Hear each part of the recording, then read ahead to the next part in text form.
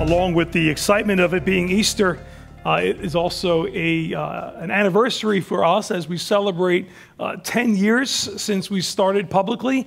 Uh, we had our public launch on Easter Sunday 2006, and uh, we just look back with, with tremendous um, sense of awe and appreciation at how God has just been so generous uh, with us and so good and gracious to us as a, as a church body. If you uh, get a chance after service, um, there's a beautiful mural. I believe there's a picture of it up, up top here um, of, of um, our yeah, cool. So that looks really awesome. But when you go like really close to it, there are the faces of people who have been a part of our church from day one, on uh, just splashed all across uh, that that design. And it's just such a really uh, awesome thing because the Integrity Church is not a person. Uh, Integrity Church is the people that make us who we are, and, and we're so thankful to God for that. And those who, are, who, who have been from the past and, and the present are kind of all on there on display. And so it's just a really uh, great time of celebration, and, and we just give God all the praise and glory for that. And so, uh, happy anniversary, uh, Integrity Church.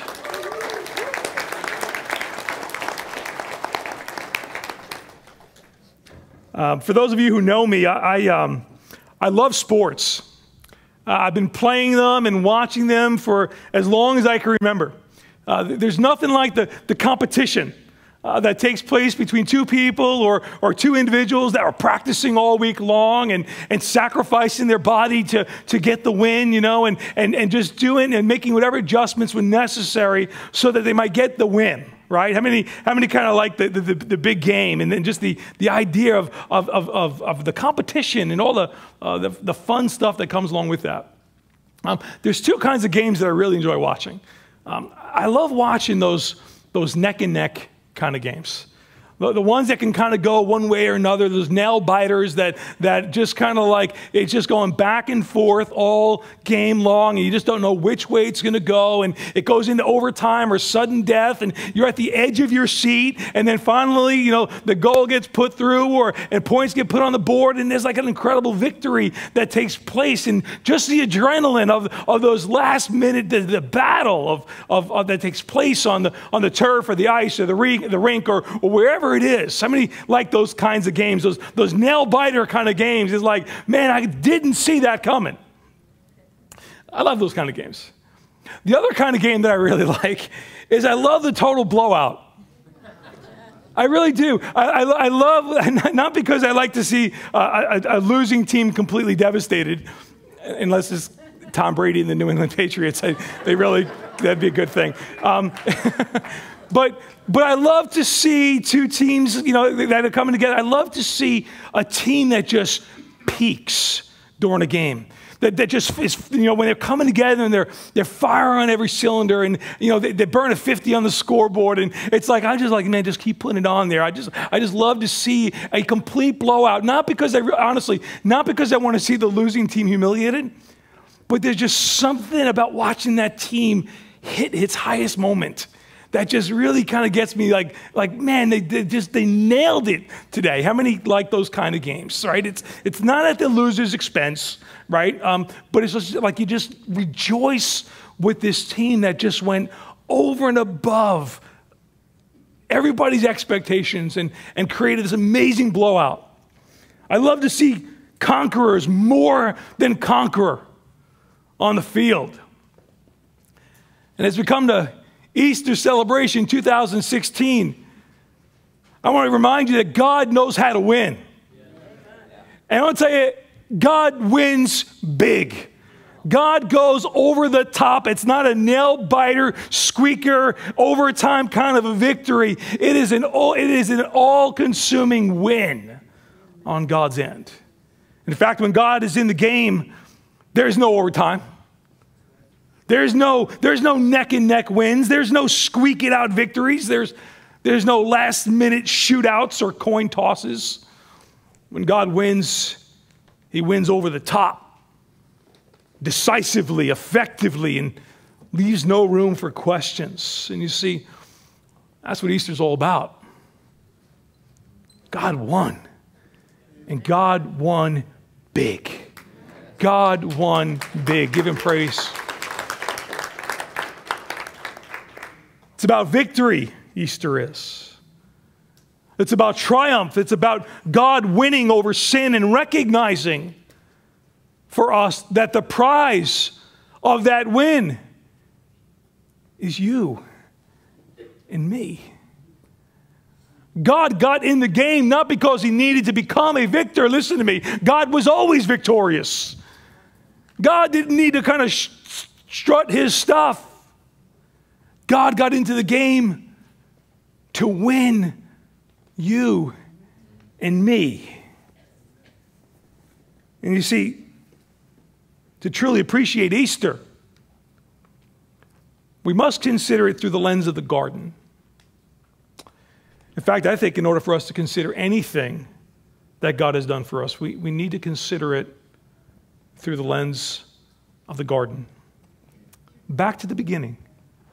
Because unless we understand the context of why God did what God did, it, it, it, it, enhances, when we understand the context, it enhances our appreciation.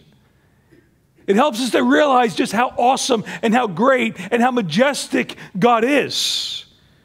And so, for, for us to consider and appreciate Easter, the resurrection Sunday, we need to consider it from the lens of, of the garden because it was in the garden that, that everything that was good went bad. Everything got messed up because man, who was created in the image of God, who was designed to have relationship with his creator, he went against the command of Almighty God. We see in Genesis chapter 2, the Lord God commanded the man, saying, You may surely eat of every tree of the garden, but the tree of the knowledge of good and evil, you shall not eat of it, in the day that you eat of it, you shall surely die. It was clear,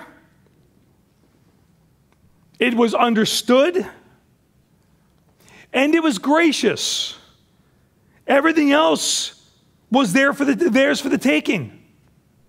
This one restriction served as a reminder that God is God and we are to follow his commands. Everything was theirs for them to enjoy and to remind them that they were stewards of the garden and not owners of the garden. God said, You can have everything but this. Don't touch this. That restriction served as a reminder that they were stewards of the garden and not owners of the garden. But they didn't listen. They went against God. They defied his command. And that same one who defied God before time began, Lucifer, that one who who at one time led angels in worship before the throne.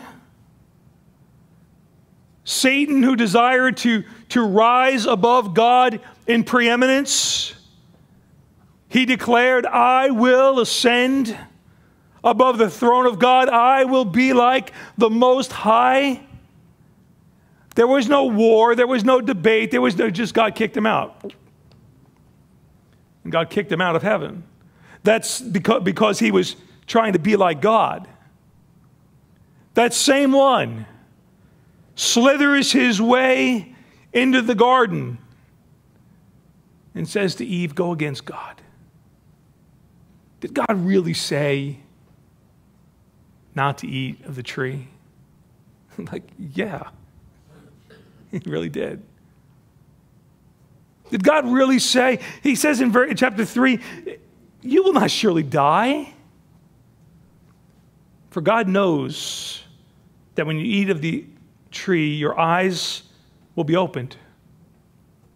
And you'll be like God, knowing good and evil. He's afraid, God is, that you're going to be like him. Go ahead and eat the fruit. Eat. Hey, that's what Satan wanted, to be like God. And so he uses his own desire and puts it on them and says, You can eat the tree. It's, it, God's just afraid it's going to make you like him.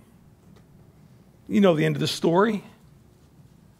The effects of that moment have played out over the course of time as, as sin entered the world and has ravaged the beauty of all that God has created?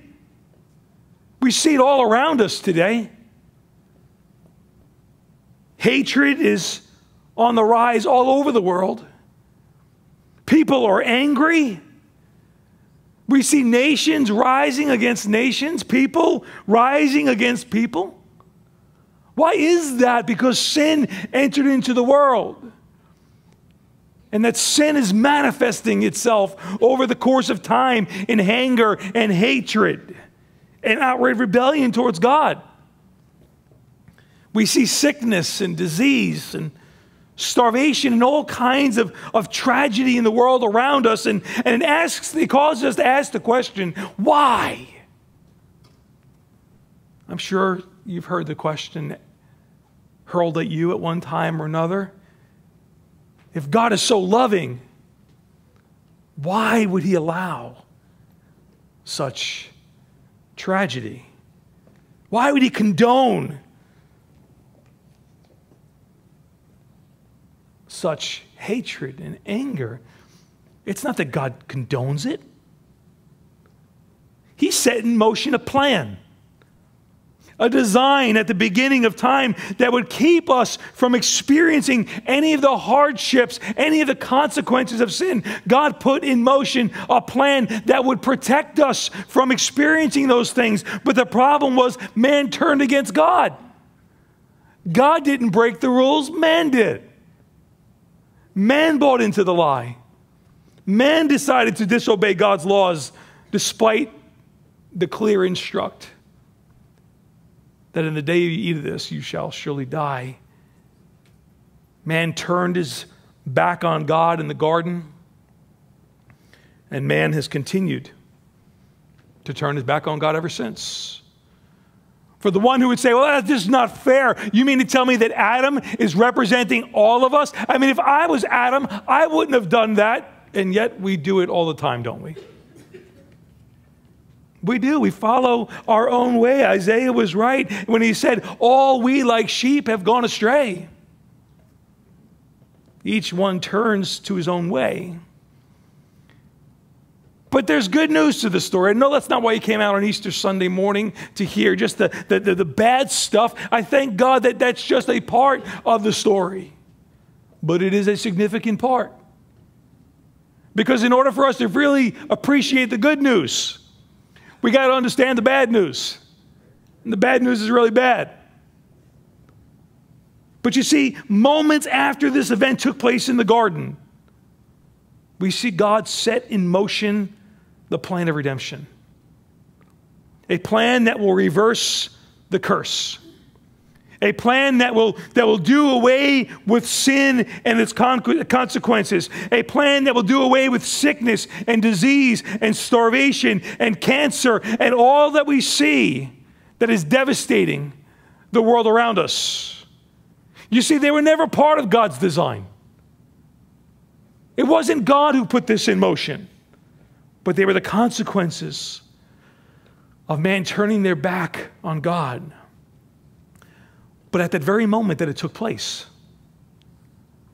God puts in plan in place a plan, a, motion, a promise that one would come, one who would crush the head of the serpent, Satan, and all that he represents and all that sin's tentacles have reached out to. We read about that right in the beginning, right after the fall. Genesis chapter 3 and verse 15, God is speaking to Satan. He said, I will put enmity between you and the woman, between your offspring and her offspring. He shall bruise your head, and you shall bruise his heel. God is letting us know right from the beginning, the beginning that there's a plan in place that will reverse that which was lost in the garden. It was set in motion. God's plan of redemption was settled and it would be finalized in the, in the coming of a Messiah.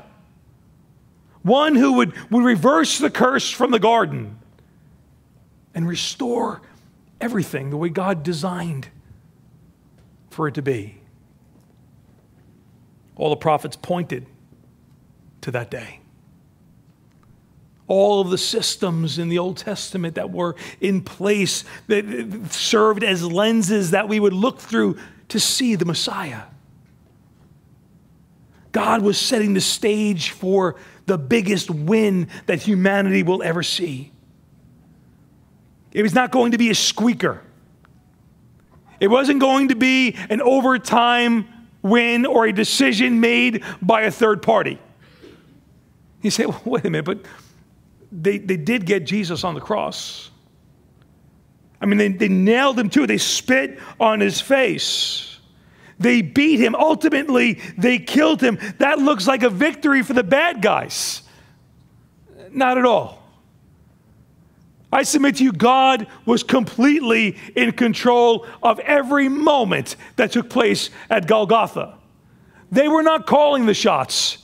God was. In fact, centuries before Roman crucifixion was even created, the psalmist lays out for us the kind of death the Messiah would experience as it speaks about, with precision accuracy, the nails going through his hands and his feet and, the, and, and his, his side being pierced. Clearly speaking about crucifixion centuries before the Romans even invented it. Surely the Romans were not in charge at that moment. Jesus made it very clear in John chapter 10 when he said, Nobody takes my life from me. But I lay it down of my own accord. I have authority to lay it down, and I've got authority to take it up again. This charge, he says, I've received from my Father. And so Jesus was not the victim at Calvary that day. Jesus was the victor before Calvary, during Calvary, and after Calvary. He is the same yesterday, today, and forever. And so here's the part that we, we need to wrap our arms around because we're bound in this arena called time. But what Jesus did at Calvary took place over time, it extends beyond time. And here's the part that we need to wrap our arms around that what was being played out on Golgotha was not a battle for victory, it was the carrying out of the victory by the Son of God, who is a victor all the time. It was already settled and secured moments after sin entered into the garden. What Jesus did on the cross took place above time. Now, we have a hard time reconciling that because we are bound within time. But Jesus took care of it all above time. And so, how was this victory carried out? How could God maintain his holiness, which demands punishment for sin, while at the same time reverse the curse that was in the garden? He would become the curse for you and me. How would he reverse the curse? He would become the curse. The scripture says, Cursed is every man who hangs on a tree. For God so loved the world that he gave his only begotten Son. And whosoever believes in him should not perish but have everlasting life. God stepped into time to put in motion a win for us for all of eternity. The plan for victory included God becoming man, living a sinless life, ultimately being the only person not born of Adam who had earned his way into heaven, fulfilling every command that was set forth. And where Adam dropped the ball, Jesus picked it up and ran to the cross for you and for me. Jesus took upon himself the, the punishment that was directed towards us upon himself. He absorbed the, the full wrath of God for all of our sin. When we talk about this idea of being saved, right, we use that so sometimes so flippant. Like, I'm, I'm saved. Well, what are you saved from? We're saved from the wrath of Almighty God. Man is born under the wrath. John the Apostle, in, in, in, in, quoting the words of Jesus, Jesus said, He that has the Son has life. But he who does not have the Son shall not see life, and the wrath of God abides on him. And so when we talk about this idea of being saved, we are being saved from the wrath of Almighty God. And as Jesus hung on that cross and fully absorbed the wrath of God Himself, all of our sin, all of the consequences for our actions, every one of those sins, Jesus took them upon Himself. And as He cried out, It is finished. It means paid in full. He absorbed all of the punishment for our sins and the wrath that was directed towards us is turned into favor from God. What an amazing transfer that takes place. Our disposition before God went from being under God's wrath to being under God's love and mercy and acceptance because of the Son. But it didn't stop there. Not only did Jesus die on the cross for us, but he showed that his power over death, he showed us that power by rising from the dead three days later. The risen Christ, Resurrection Sunday, Easter shows us that the sacrifice that Jesus made on our behalf was fully accepted, and the consequences of sin that were heading our way were completely paid in full by Jesus. The account that was overdrawn for us because of our sin was paid in full by Jesus. All the sin and the consequences of those who would call upon the name of the Lord were put on Jesus, and that's the key. For those who don't call upon the name of the Lord, they still are under the wrath of God. They will still absorb the consequences for their own sins. It is only in recognizing that He and He alone is our substitute. He is the only means by which we can gain favor from God. He is our only way of moving from the wrath of God to the acceptance of God, not a church not your church attendance, not how much you give in an offering, not how nice you are, or anything else. It's nothing we can do. It is solely based on the merits of Jesus Christ. Religion gets in the way of what the message of Jesus was all about. I, that's, a, that's the reality.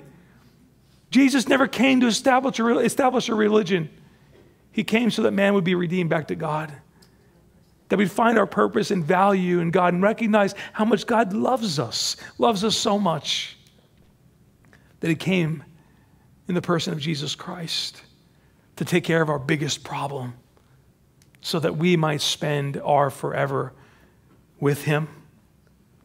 Listen to what Paul writes to the church at Colossae. He says, In you who were dead in your trespasses and the uncircumcision of your flesh, God made alive together with him, having forgiven us all of our trespasses by canceling the record of debt that stood against us with its legal demands. This he set aside, nailing it to the cross. Nailing what? To the cross. The record of debt that stood against us. Here is what the record of debt looks like. The record of debt looks like the sin nature that has been passed on to you in Adam. It continues beyond that, though. If we consider every area of sin that we have been a part of goes on to our debt. How many had a really huge debt? There was a record of debt that we accumulated over time.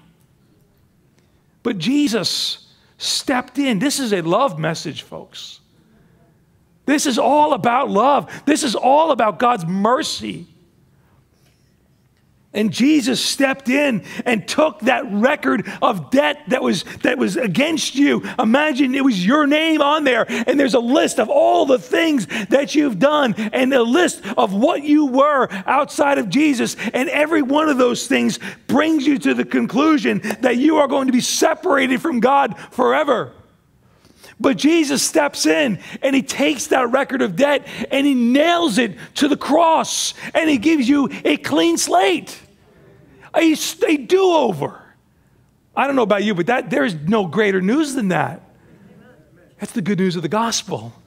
God steps in and cleanses us by the blood of Jesus.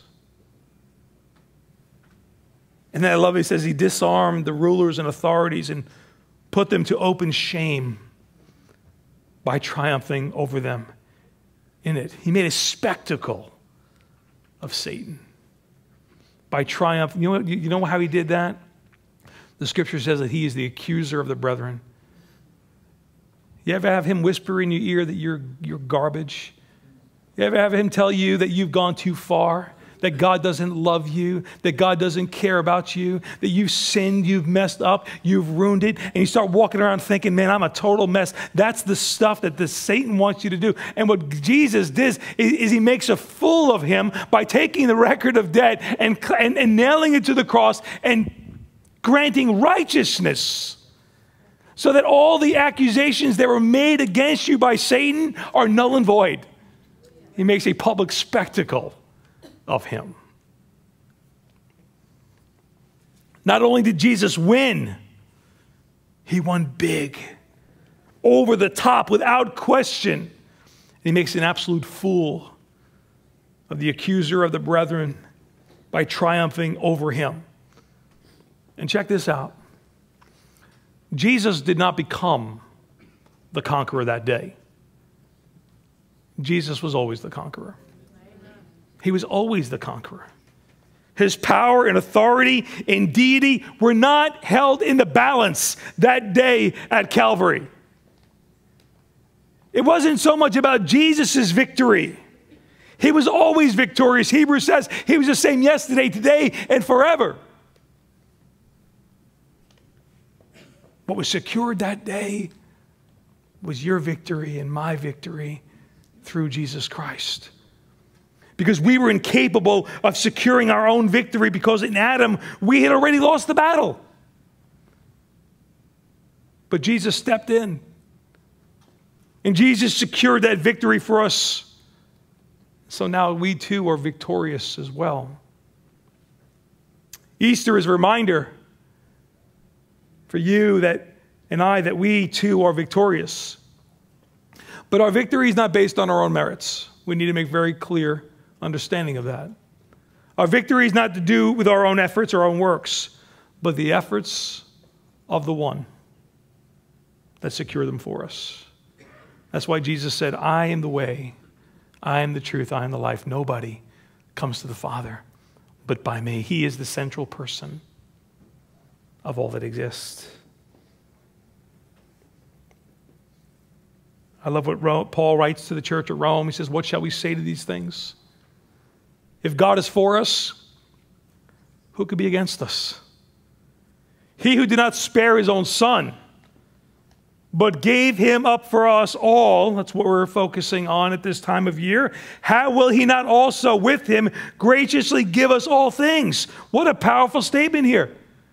What he's basically saying here is he who did not spare his own son, but gave him up for us all. It's like God's not going to go through the motions of giving up his son and allowing all of his wrath to be poured out on his son just to forget about you and me.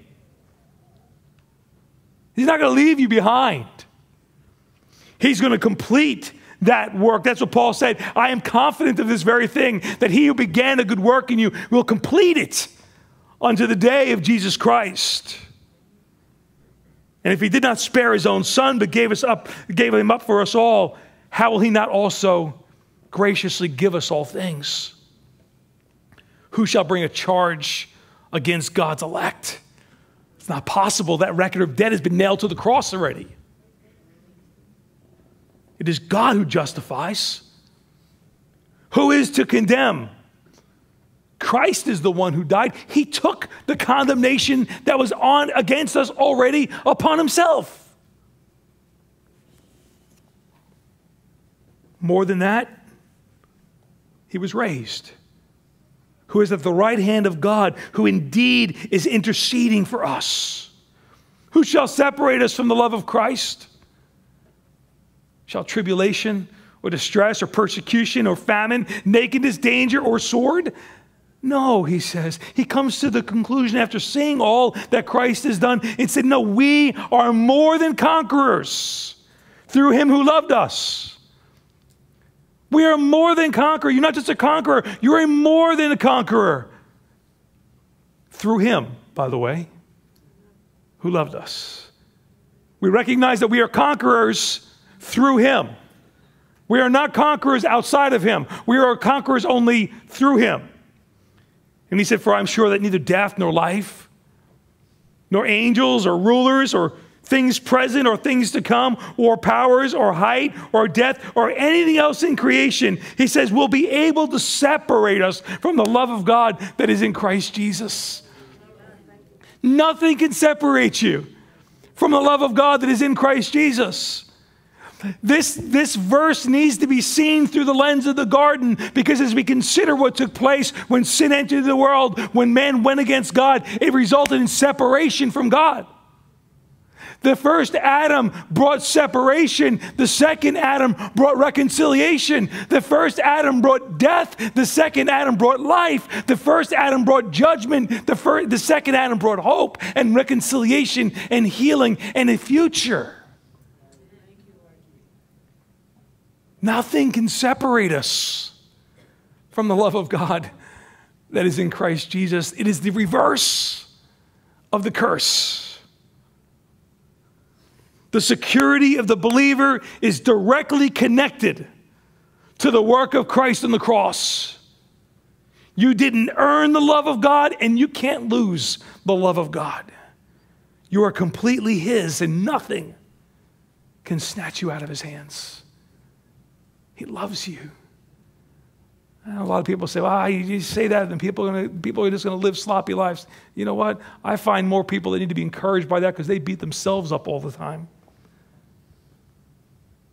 Oh, I dropped the ball. God doesn't love me. They grow up in an arena where, where they, they feel like you know, that, God, that, that God's love for them is only is dependent on how good they are. Really?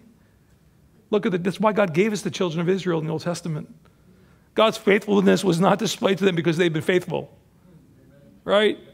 They were like us. And I find tremendous encouragement that nothing can separate you. Nothing. Maybe you're here this morning, you think, did I go too far? Does God love me? Does God care about me? Does He know where I'm at? Does He care about the things that, that I've gone through? Does He know my hurt? Does He know my pain? I want to tell you this morning God loves you. He truly loves you. As my brother Ken said this morning, if you were the only one, He'd have come just for you.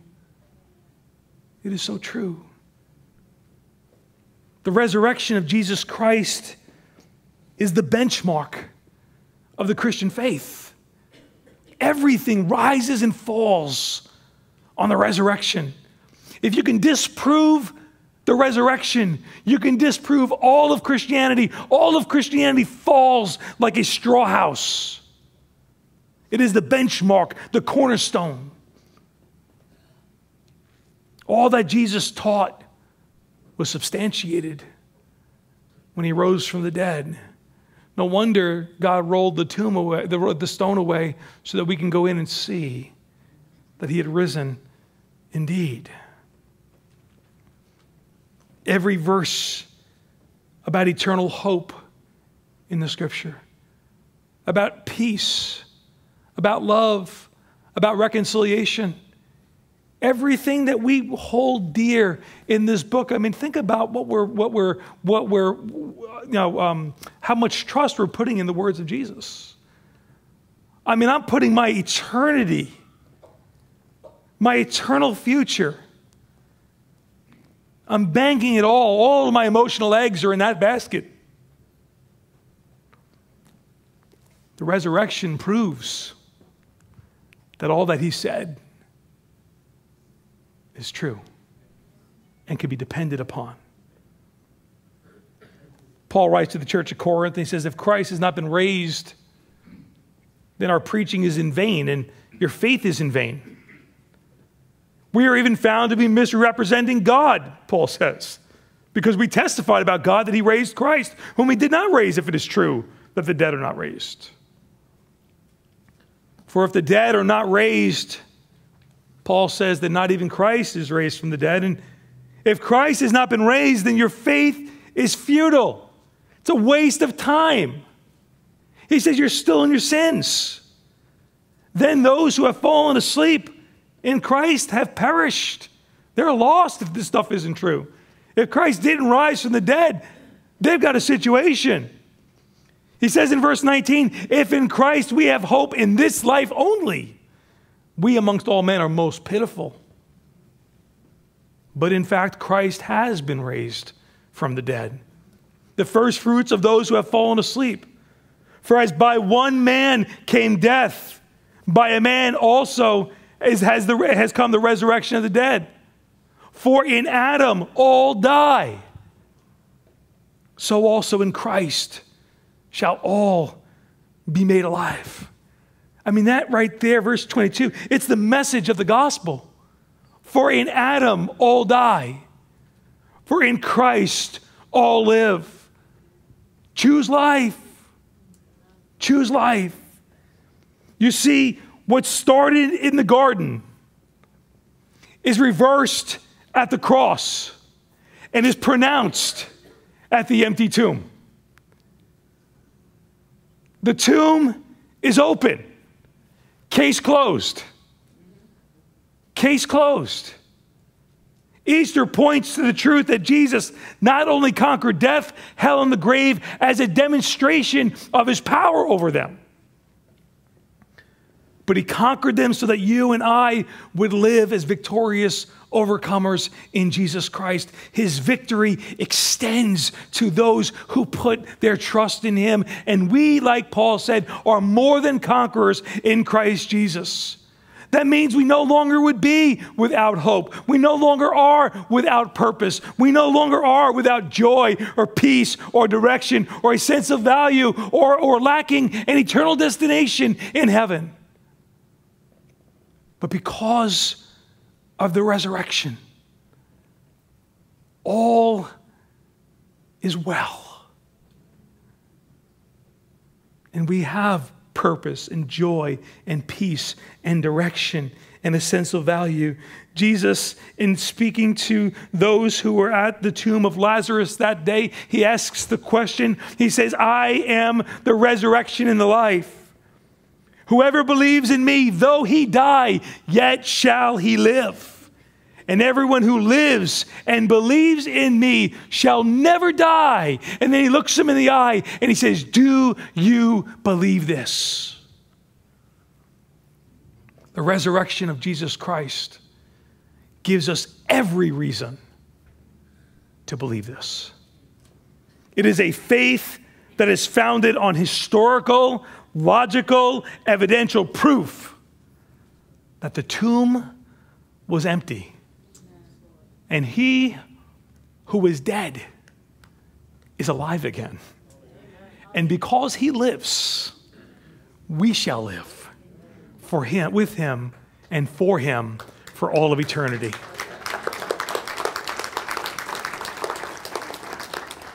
The resurrection, it's the benchmark of our faith. Let's pray.